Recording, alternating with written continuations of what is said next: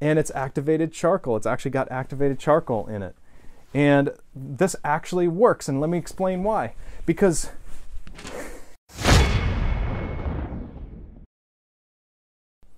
activated charcoal comes in multiple different forms pills, powders, tablets, even hunting clothing. Does it work? And if so, what are some of the BS applications or just ridiculous applications that don't work with activated charcoal? And then what are some of the valid uses for your health with activated charcoal? Well, first of all, I want to show you again, I'm having kind of some fun with this. I want to show you what happens when you do internet research and you look up activated charcoal. You find a lot of claims that say activated charcoal has this uh, negative charge, so it pulls positively charged ions to it and it removes heavy metals like lead and mercury and other things that are positively charged. You see this with Josh Axe again. You see it with Dave Asprey, who we'll talk about at the end of this video. And then you see it with this, for example, with this YouTube uh, uh, channel called Healthy Preparedness. Take a look. So these three substances are bentonite clay, diatomaceous earth, and activated charcoal. Um, so the similarities that these three have together is that all three of them are negatively charged substances, meaning that when taken internally or even used topically for infections, it has the ability to draw positively charged substances to itself. Those positively charged substances are things like viruses or bacteria, heavy metals, candida, parasites even, um, they attract those things to them, and when taken internally, they are able to trap them inside themselves or on themselves, and we're able to eliminate them from our body. So that's the YouTube channel Healthy Preparedness. Activated charcoal has a negative charge, so it pulls out heavy metals like mercury, lead, things like that.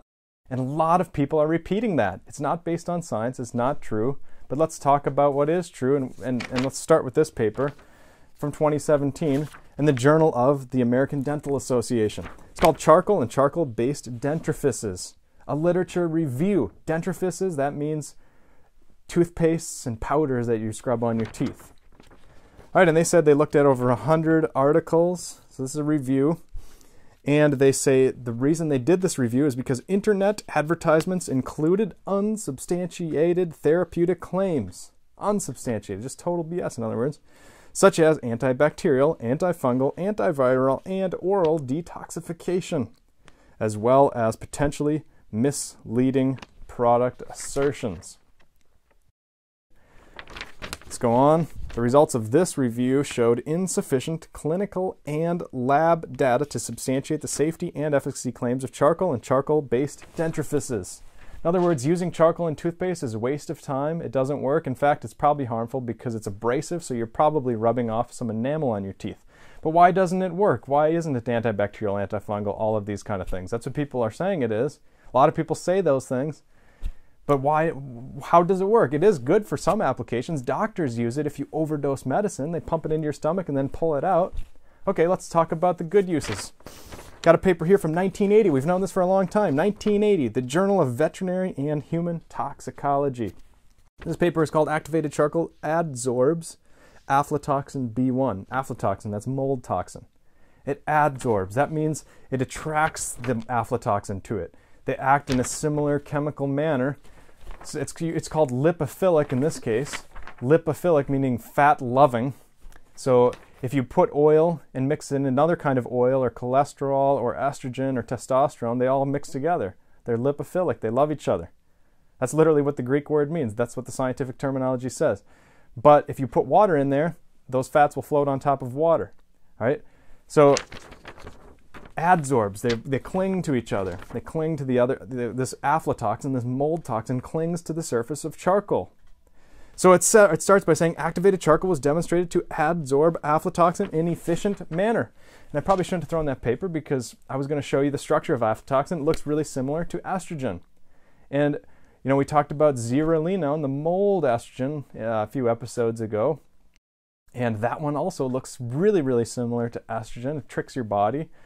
But the point with aflatoxin is it doesn't have a lot of charge. It's a greasy molecule. It's, it's an oil-like molecule that's why charcoal, activated charcoal, clings to it.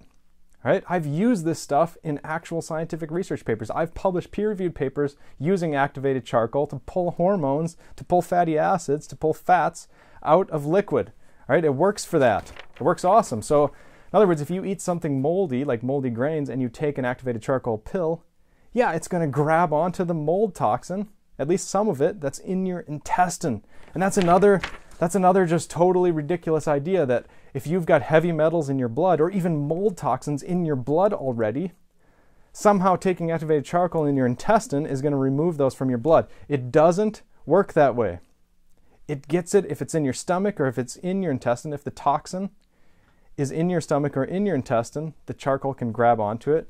But again, it has to be a specific kind of char- uh, uh, toxin. It has to be a greasy toxin, a hydrophobic toxin, a, a, a, a toxin that's fatty, that's oily. Okay?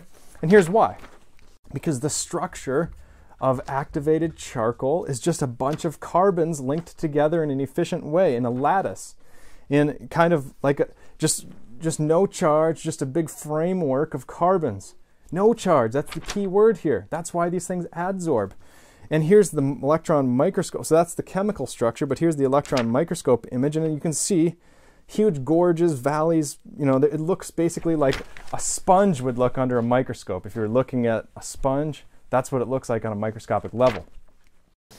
And here, I told you I was going to end on Dave Asprey. So here's his website, Bulletproof, the Bulletproof website. And he's talking about, of course, just two grams of activated charcoal. And he says, or use my upgraded coconut oil. He's always pitching his stuff. You know, every other sentence is promotional. And I don't have a problem with that. You have to promote your stuff or nobody's heard of it. But I mean, he goes over the top with it.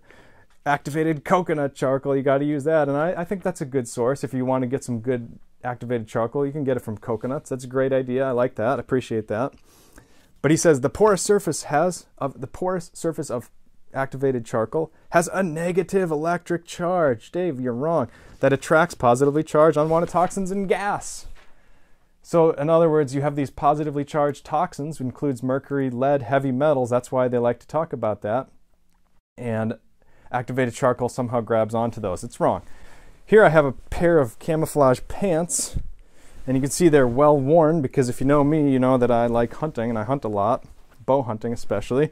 And you can see the inside lining here of my pants are is a special layer and it's activated charcoal. It's actually got activated charcoal in it.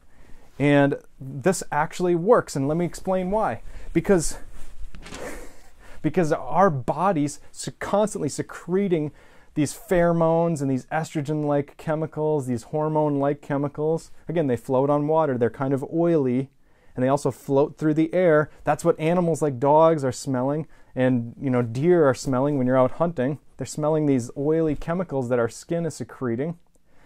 And you know, they stick to trees. You, you grab onto a tree, animals can smell that. They smell that oily stuff that you leave behind. It floats through the air, it sticks on substances.